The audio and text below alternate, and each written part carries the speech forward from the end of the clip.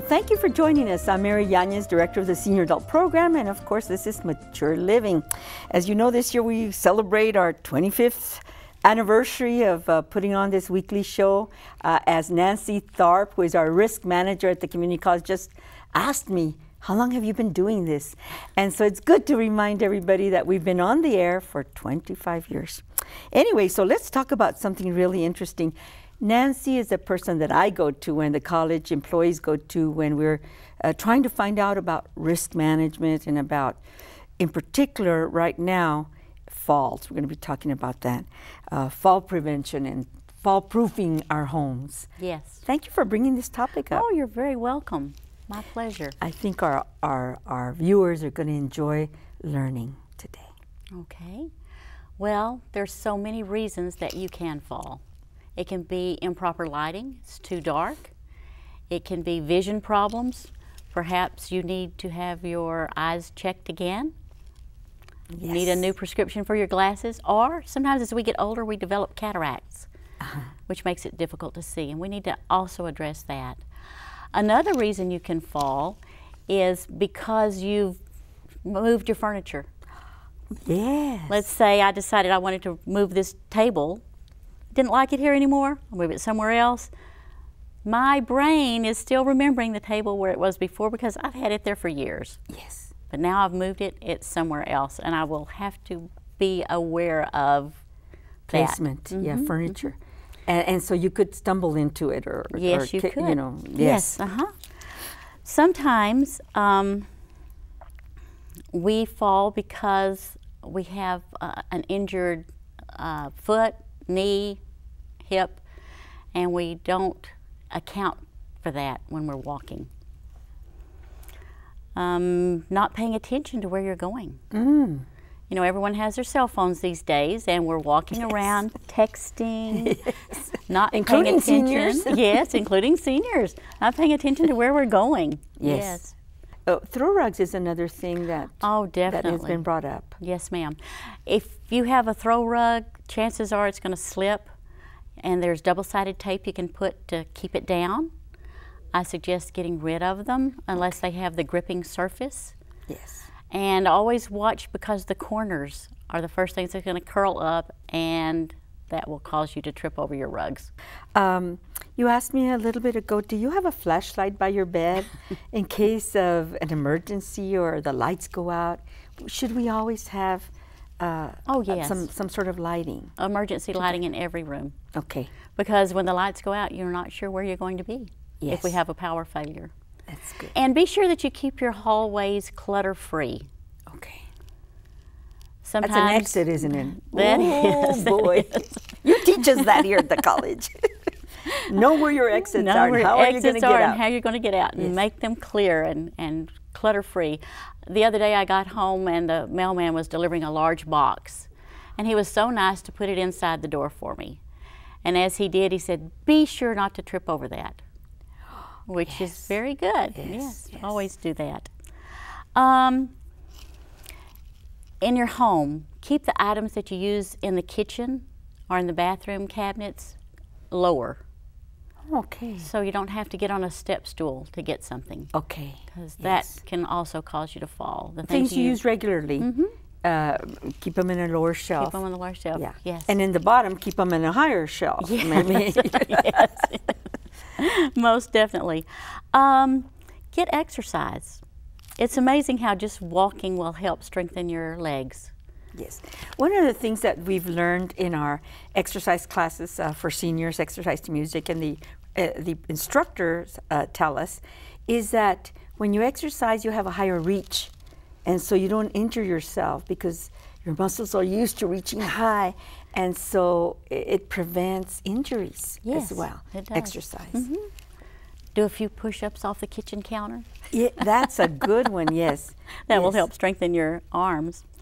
Um, medications. Sometimes that can cause you to be dizzy. Yes. and so you need to check with that. When you fulfill, uh, when you fill your prescriptions, ask your pharmacist if you are taking other medications, if they might contraindicate each other or cause dizziness or something like that. Even over-the-counter medications can cause you to be dizzy and Oh, fall. Yes. So especially be careful. you have colds. Yes, when we have a cold, we just go get whatever's off the shelf, and I think most of them say can cause dizziness. Yes. And please don't drive when you're doing that That's either. That's true. So many great things. Um, in the bathroom, Yes. falls happen a lot. And one of the reasons is because our floors are rather slippery. After your shower, all the moisture is on the floor. Yes. Yes. It's steam. That Could you- steam, yes, makes it slippery. Okay. So be sure and have a mat there that is the, the slip-proof type, and put the rubber mats inside your shower, inside your bathtub, so that you don't slip and fall in there. In there, yes. Okay. Mm-hmm. And and that's so important. Uh, and they need to be washed every so often, but that's okay too, you know. And uh, it's better to to protect ourselves from a hospital visit Right. or broken hip or uh, it just. Uh, it, and you know, it, a fall can be devastating for a life, for a person, because it could change your life drastically, uh, and it affects the families as well. So we need to keep safe Right. safe, fall And- proof. Fall-proof, and install handrails in your bathrooms. Yes, and I did that already. Oh, so I'm wonderful, I'm, kind of falling right into place. And they also have uh, the little hand suction cup Uh-huh. rails Okay. that work very well. But be sure and test it before you put all your weight on it. Uh, the the ones that you install in into your tile or to the wall are, are much safer and Oh, secure. definitely, definitely. Footwear you mentioned. Uh, what oh, do we do about that? yes. Be sure that your soles of your shoes are slip resistant.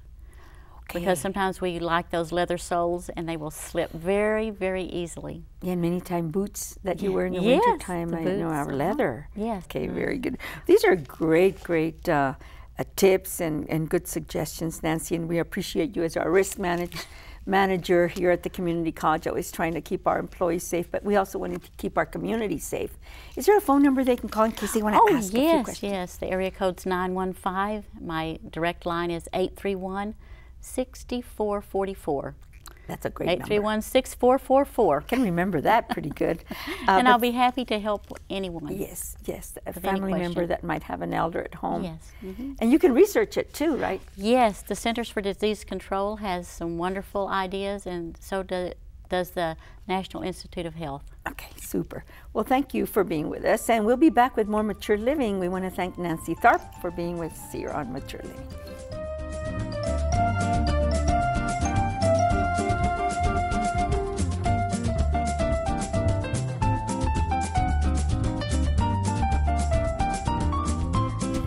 Thank you for staying with us. I know you're going to enjoy this conversation because we're going to give you uh, some very important information about bringing awareness uh, to brain injury.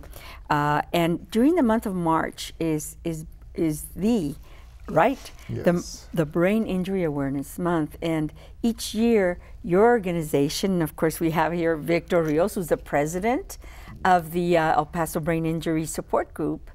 And you've brought a good friend, Virginia Francis, also that is very active. Uh, you're a caregiver, um, also a mom, and I know how important it is to you, to all of you, and to all of us in our community to support you in any way we can. Uh, let's talk about what you've been up to in, during the month of March already. Did you have a, a race uh, for awareness? Yes, we did. We had our race March 5th. It's we're gonna be trying to have it the first part of the month. That way, it'll kick off the month of awareness of the brain injury, and um, it's Yes. important that we encourage those who have suffered a brain injury, and not only those persons that have suffered, but the community, their family, their friends around them, because it doesn't affect that individual; it affects everybody around that person Yes. and uh, it plays such an intricate role into developing those those bonds, those those um, Relationships. Relationships. Thank you, and it's important that we keep them, and because there is a stress, there is a burden placed on those relationships, and it's not something that is intentional. It just happens. Yes. And uh, people who aren't aware of this will put it off on that brain injured person is that's their fault and burden. The burden is on falls on you, on the person that got injured. exactly Uh, and and of course, uh, Francis gives another perspective. You as a a person that had a brain injury, how did, how did yours come about, if I may ask? well i suffered my brain injury when um, i was thrown 30 yards from a convertible Wow. i was in a coma for five weeks in a wheelchair for two years i was told i was never going to be able to walk work go to school and i've done all that Yes, that's That- good news. That is very good news. and um, her son as well has overcome challenges. Yes, Tell us a uh, little bit about your situation, okay, well, Virginia. My name's Virginia Francis, and, and I'm also part of the board. And the reason I started, you know, joining this board was because of my son Patrick Francis. He suffered a traumatic brain injury while playing football at the age of 13. And like Victor, he went through a lot of things. He was in a coma for two and a half months. He woke up four days before Thanksgiving. So that was a big celebration. And, and that's how we started, you know, a celebration here in El Paso that it's called Light Up the Heavens. oh, I like that. Yes, that's uh-huh. a great title That's for the reason because we started there. Actually, it started in a little town. To uh, in 2014, it was a family that decided to bring awareness to the you know to their community. Uh, by lighting up the heavens, it it is called Light Up the Heavens, and now it's celebrated worldwide. But it had never been celebrated here in El Paso. But uh, with the El Paso Brain Injury Support Group help, and then Victor and all the board members, we were able to accomplish that dream that Patrick had to start Light Up the Heavens in El Paso. Tell me a little bit about what you're planning uh, on March 31st, which is uh, the last day of March. A big So, like like Victor mentioned, we did have a race March 5th, and uh, every year it's more and more successful. And we do want to thank the community and our sponsors. And um, March 31st, we'll be having the Light Up the Heavens at the beautiful Desert Botanical Gardens of It's very nice. It's beautiful. That's where we ended up the race too, and, and it came out really nice. So again, we're going to be celebrating uh, Light Up the Heavens, and Light Up is the Heavens. is mainly to ce- celebrate all the brain injury survivors and to honor the ones that have have been taken. Uh, Victor, tell me what you're seeing for that day. What's your vision? Well, I would really be encouraged to get community participation and acknowledging that, that brain injury can occur to anybody. I mean, falling out of bed when you're asleep can cause brain injury. Uh, concussion, that movie that just was released about football players, Yes. they can suffer brain injuries. The veterans coming back from the Gulf Wars, they're suffering brain injuries. It's something that's becoming more and more prevalent, and for a long time, this this has gone under the radar, if you will, because awareness was not brought to it, and that's what our group is trying to do: is bring mm-hmm. awareness to educate people and how to proceed forward, not stay back or put blame or make excuses, but to move forward, Yes. to progress. Uh, we just talked about maybe an idea that we could uh, bring up. What do you think? Yes, uh, we were coming up with ideas, being that it's going to be at the beautiful botanical gardens again, and I'm going to give you the address. and the time. the address and the time. The address at the Botanical Gardens is 4220 Doniphan, and the zip code is 79922. And the time will start at 7 because we need to be there before it gets dark. Because once it gets dark, we're going to light up the heavens. and uh, we were thinking of maybe having a parade of lights, green lights, because green is for brain injury awareness. So maybe Green we can have green lights and um, light up the heavens that way, and then be wearing the neon green necklaces and the glow sticks and, and maybe hats. And it's it's just you just have Kind to like the Christmas parade of lights. It's green. and it's cold in that uh, Uh-huh. in Christmas to do the So parade. gonna but be they have beautiful. a yeah, so we can do So we, within we the do want garden. invite so- everybody Exactly. to join us, please, because uh, like Victor was saying, there's so many people that have suffered brain injuries, and we do want them to come, and you know, sh- we want to show them that there is hope. Like like my son Patrick and Victor, they've gone a long ways, and we we know a lot of survivors that have gone a long way. So we just want to let everybody know that there is hope and there's miracles.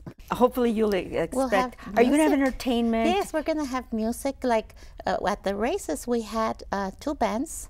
Okay. Uh, the the there's there's a band that Are you going to be always charging or anything? Or is it going to be a fundraiser or anything like that well, for there that is day? a fee for the for the botanical gardens, but Uh-huh. we'll see.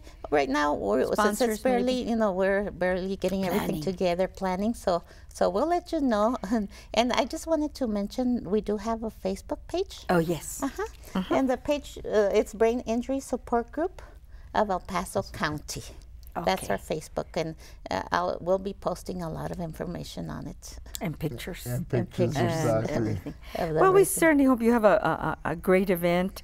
Of course, right now we're in the smack in the middle of March, and so um, we wish you well, and and we hope a lot of celebrities go over there and join you uh, in their goofy, lighted up hats or whatever you can dream up, right? Yes, Exactly. gonna be it'll good be weather, fun. It's going to be a fun time, and then mm, you know we're going to be bringing awareness to our community. All the people that support you, right? Yes. Exactly. So good. Well, best wishes to all of you uh, in the in the support group, and we certainly hope you have a great celebration. Uh, Thank you. wear green that day. Exactly. Thank my you very much. Thank you. March 31st. March 31st. And we'll be back with more guests uh, celebrating other things and important conversations.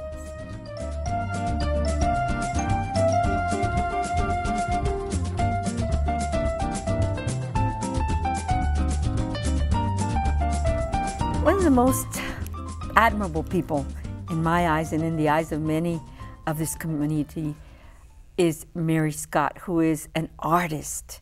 She is a friend. She has a big heart. And Mary Scott uh, is a former professor at the El Paso Community College and one of the founders of the Empty Bowls program, which has been going on for 12 years now. And it is a great benefit to to this community. And so I'd like to reintroduce you to Mary Scott, who is with us. And we're going to talk a little bit about the artist, Mary Scott, the artist, and her clay. Thank you for being with us, uh, Oh, Mary. Like, and I mean it. I I admire you so much, uh, and many of of the people here at the college and in this community that you've touched with the Empty Bowls Project. Tell me a little bit about uh, the, the beginnings. Well, I'm, I'm, you know, as an artist, uh, I think Empty Bowls started in my heart when I was in graduate school in Lubbock. And uh, there I worked with uh, various groups, well, students, like high school students, and we built sculptures as an expression of uh, working from our hearts. And, Yes. and uh, sometimes we used clay, sometimes we used other materials. But like one of the sculptures was nine feet by nine feet by nine feet. It was, and we had one morning to get it. To, of course, we did preparations before other weeks, but one morning to finish that. that Huge, that sculpture, huge and, it, and it was it was wonderful. So uh, one of the things I thought about was making some kind of a, a like a dinner that would involve the people from the community and they could come and they could make the, what they would eat out of. And and uh, it was real complicated and all that. And, and but when I got back to El Paso and I started well first I one of the things that also influenced uh, making empty bowls El Paso was uh, with my friends uh, Delia and and uh, Alicia, what we did was we made uh, a, Poco a Poco Center for Arts and Wholeness, and we gave workshops for people. And we also, with, in, with El Paso Community College, brought Juan Quesada, his family. Now, he didn't come that time. His family and the potters of Mata Ortiz, and they are part of the heart of this in the sense that uh, watching them work showed me the way that I could make uh, this uh, this opportunity for people very easy to Yes. accomplish. Yes, and and there's a process, Right. and you develop this process so that eh, people that have never made a piece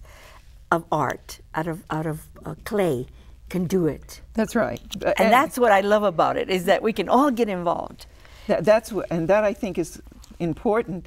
the you know the money from Empty Bowls El Paso goes to help people who are hungry. But the workshops, all the workshops we've done, we've probably done at least 50 workshops since last April. So we've done lots of workshops, but that's to nourish the heart and soul of people. The making of the bowls and the glazing of the bowls gives that kind of nourishment to people too. And, That and I think that's them. real. Yes, I think that that's are real making the, these beautiful bowls. And I had the privilege of attending one of your workshops at the college many years ago, by the way.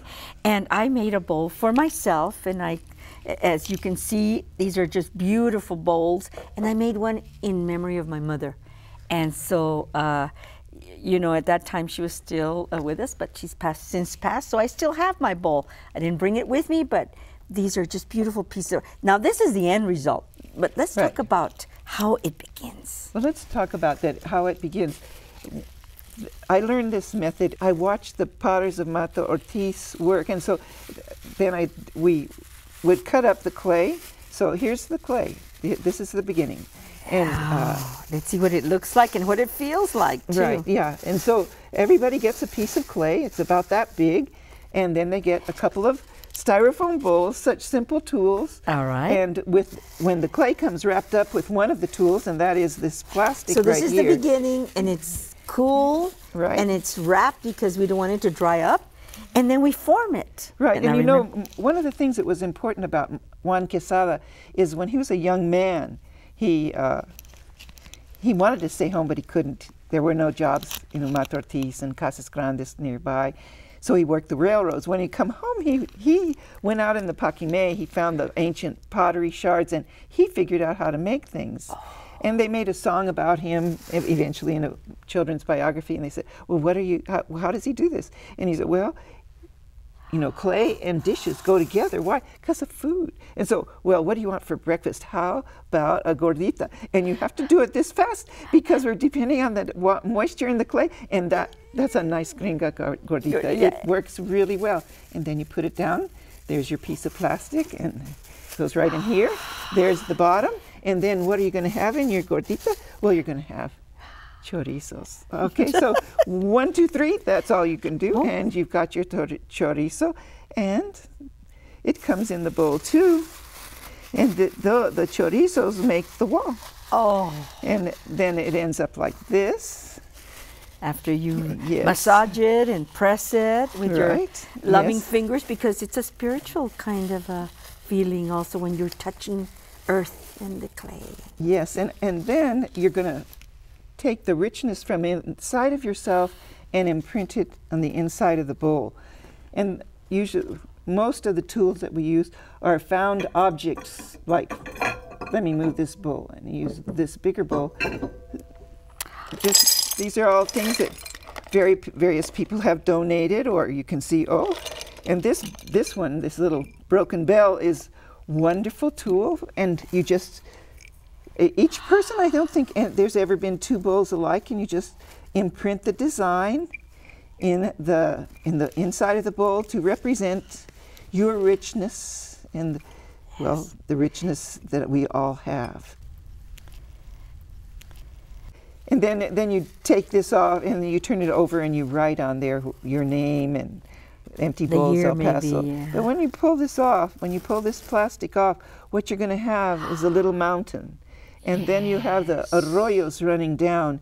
Then that's how the clay Oh. comes to us. The clay itself starts up high, pure as can be, and then it starts being uh, washed down and blown down by the wind and stuff like that. And it comes down, and this clay is down by the river, and all these. Are, so this is a symbol of the clay and of the earth itself that the clay comes from. So uh, you can see on some of these bowls, some of them it shows up more, and some of it, like see, you can see all those arroyos. You see them? Yes, Yes, it's beautiful just a- it's- markings, natural markings. Yes, it's a symbolic way of, of recognizing the clay in ourselves because, you know, we're made of clay. Yes. We, we have a lot in common with clay, including our stubbornness. that they have to clay- mold us Yes, right, to make us look right. better and act better and that is such a beautiful process how many thousands of pounds of of clay have you processed over 12 years and hundreds and maybe thousands of, of volunteers? Well, yes, because so many, many, many people all over El Paso County have made bowls. Some people have come to workshops more than once, but many, many people have just come, you know, one time where like, or, or, or two, like a couple of years I spent time at Anthony High School and we made bowls. Another time was the mother's daughters from Fabens. So it's uh, it you know it's all over. This this time it was fantastic to work with the Scouts of Socorro and uh, the Horizon City Girl Scouts that we had never worked with them before. And then on the other extreme, the Franklin High School students that helped us with Ronald McDonald House, where we had a had a workshop. That I mean, it's all It's the the Women's Club of El Paso. There's just it's so many different people who have helped, who have donated their time and their their talents. And, Yes. and so the, uh, but anyway, so how many tons of clay have we gone through? This year we've gone through, I would say, real close to half a ton, a thousand pounds. We've, we- well, m- more than a thousand pounds actually, when I think about the outlying lying stuff. So, Yes. so then if you talk about that's something like six ton, tons of clay in a sense, and that we've used all to, together. to, to feed the hungry, to help with food banks uh, Right. in, in this community, uh, to raise money and to be a part of raising that money to help others. Yes. I, I wanted to tell you a little Oh, bit more about the. yeah, let's continue with our process. Because, well, after you get the design stamped in it, then we get it dried and we put it in the kiln, and it comes out like this. Oh. White. You know, and that's another. What does fire do? You know, and uh, what does suffering do in a sense? The, Uh, the fire, it's the, and thi- with this clay body, it turns white, so it's like purifying it. But it, you feel it. You see, in comparison, how how, how it's strong now. It's very strong. And so then, and then after that, we put the glaze on, which I didn't bring a piece that it just has Mm-hmm. unfired glaze on it, but um, that's all right. It- So the glaze then gives it the color depending on. Yes, we put we choose what color we're going to put on it and how we're going to apply it. And so we use cords. You use your your fingers, and Right. and and you mold. And uh, what I was talking to a friend of mine that um, uh, she just she thought she wanted to help because she wanted to help feed the hungry, but she had no belief in herself. And she came to a workshop and said, "I'll help. I'll you know I'll pack or whatever." And I said, "Oh no, you're going to make a, a, a bowl." And now she can teach people how to make bowls. and this year, this is new for this year, the hearts, because at the heart of Empty Bowls El Paso is feeding the hungry and feeding the souls of people that, through art because art art gives life art makes life. So yeah if you come to empty bowls this year which when is it? It's april 9th it's on saturday april 9th from 11 to 3 at the el paso community college uh, Yes. a building at on viscount. But you'll see some of these hearts too So- Beautiful. And that's where you can donate and you can buy a bowl Oh, at well, that yes, point. and there's all those all the good things that go with that celebration. It is really a celebration with music and everything. That is so good.